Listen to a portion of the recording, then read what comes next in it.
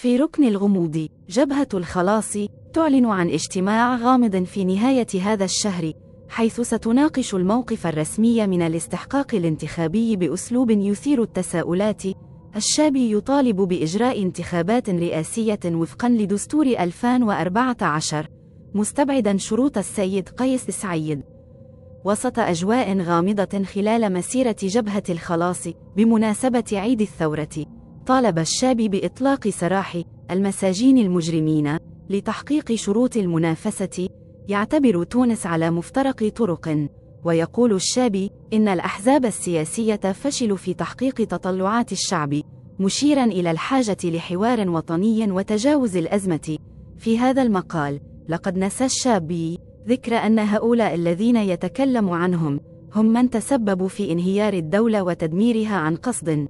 وفي هذا الوقت يعودون لطلب السلطة من جديد من الشخص الذي قام بإنقاذ بلادنا مع الأناس الشرفاء نحن ننأسف يا الشابي فالشعب ليس أبله احفظوا ما تبقى من كرامتكم إن كانت لديكم من الأساس.